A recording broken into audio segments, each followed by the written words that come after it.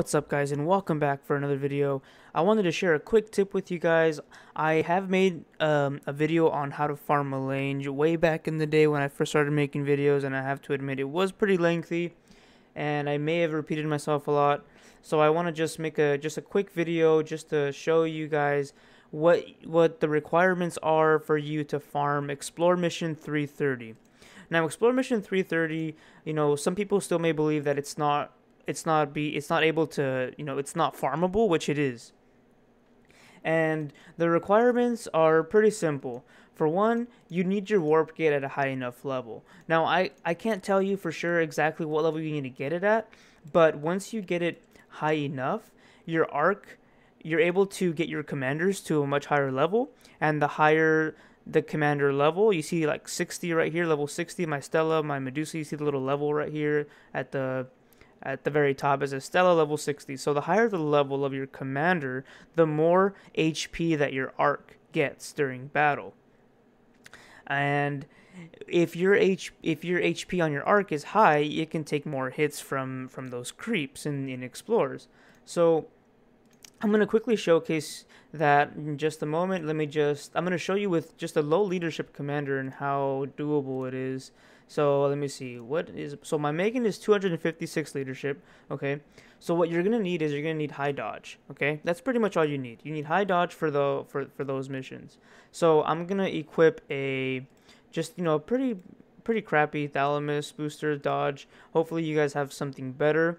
I mean, I do have something better, but they're all equipped on my commanders and they're out farming right now. So I'm going to equip this Thalamus and a Dodge. So again, preferably A class or above, so you can equip this Thalamus. I'll also show th I'll showcase this with a B class, which I have a few of, and their low leadership as well. So let me just quickly show you.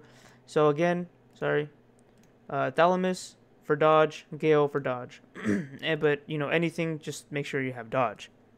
Okay, and the key here is the configuration of your troops. So you want to select your troop and you want to put one ranger in the first column, okay? And then in the rest of the of the tiles, you want to put your highest tier troop. Now, pref- it preferably uh, like infantry will have a much easier time doing this mission because of course they have inherently higher dodge. But you know, if you're walker airship, just make sure you have a high enough tier unit to where your dodge is going to help you. Okay, so I'll just do it with one bastion, or I'll just do full full bastion, five. It's just five. Okay, just the leadership's very low. Okay, so this will be the configuration. Okay, so what I did is before I even got bastion, uh, I rushed um, T5 infantry because T5 infantry have pretty high dodge and they're not that expensive to get. So if you are an airship main or a walker main and you don't have T7 yet, just you know try to get T5. Just try to get T5 infantry. Uh, they, they will help you tremendously to farm this mission. Now you can use these rifles, you know, to craft. You can use them to sell in the market, or you can just sell them just for for the minimum amount in your bag when you open your bag and you go to your uh, to your equipment, you can just sell them right there, and it's just it's a it's a it's a great source of melange. Okay, melange. Sorry. Okay, so here we go. So I'm gonna let this re- play out all the way, so you guys can see what happens when my rangers die. Okay. So the only way this is going going to work is if you can kill the the enemy arc faster than they can kill your arc. But you're gonna see how much damage those airships do to your arc. Okay? See, look, that's nothing. Like, that's pebble damage, okay? Just look at my health bar down below. Now, keep in mind, the only reason I can get away with this is because I have a high-level commander, right? I have my commander at max level, level 60, and look how look how much my Bastion are chunking away at the enemy arc, and compare that to how much damage those airship are doing to my arc. So, because I get because I get to their arc faster than mine, you know, I win, obviously, okay?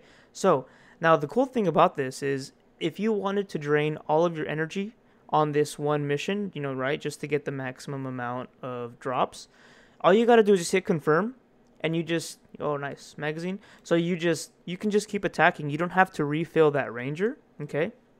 And you're gonna see just how just uh, how or how I'm able to beat this mission still without those rangers there okay? I'm just gonna fast forward it okay? Now look look how low my health gets. It doesn't get that low so So yeah, guys. So you can do this with all your commanders. Hopefully, you have you just need high enough dodge, and that's it. That's all you really need. Uh, or sorry, you also need that high arc health. Okay, if you have a low commander level, you know, and if and again, commander level the cap at your of your commander level is based on the level of your warp gate, which is why I mentioned earlier why you need a high enough level warp gate.